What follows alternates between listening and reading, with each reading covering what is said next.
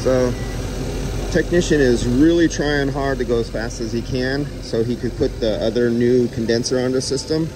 And he has to do the whole core support. And while I've been doing a couple other vehicles here at the same time you've seen the video on this one and the other one um, this is all in a rush to try to get me to do as many vehicles in here today recoveries and recharges before I jump onto the airplane to go to the MACS uh, seminars and training so this is a rush.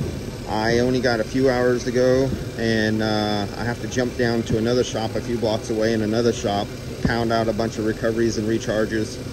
And, um, and then he should have this partially, I told him he doesn't have to have it all put together. Just put this in place with like two screws, forget all the hoses, forget all the wiring, if you place the condenser, the new condenser, where's his new condenser?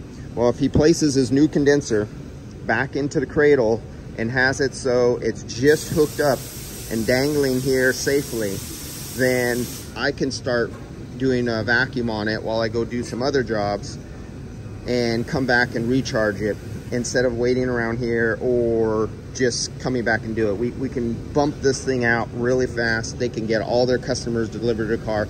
I get all the work everybody's happy, and uh, we get stuff done. All right, I'll see you. And it's all time management. Like there was a, a little miscommunication. The technician who worked on this did not tell the shop foreman, the manager, that this vehicle was ready for air conditioning. I discovered that because I was walking by and I seen how clean it was and I remember I, I recovered this because my label is on here with my date and um, so it was ready and so I jumped onto this one right away and that kept me here a little longer and uh, and also got me another job they didn't even know that we are going to be pounding out. So in this case I would have been on the flight back in Tennessee at MACS and then a technician would say oh we need the AC charge.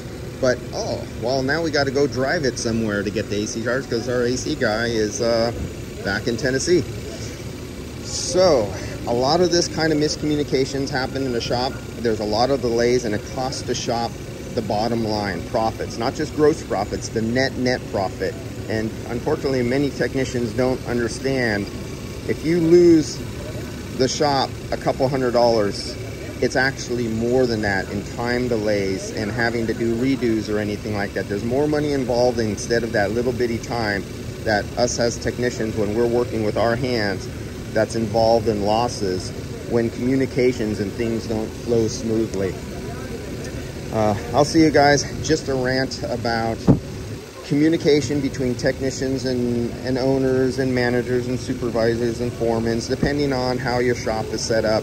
And then there's the wild, wild west where the owner doesn't work on cars. Any of the supervisors really don't know about working on cars and they hire a bunch of young guys who don't know procedures and they've been through no formal education. They haven't been through apprenticeship. They don't know about running shops and they're learning their next 10 or 15 years to get a program together. And that's a very unproductive and very unprofitable way to run a business. Just coming from experience, I'll see you guys. I see the ones who do and I see the ones who don't. And there's definitely a big difference. All right, catch you later.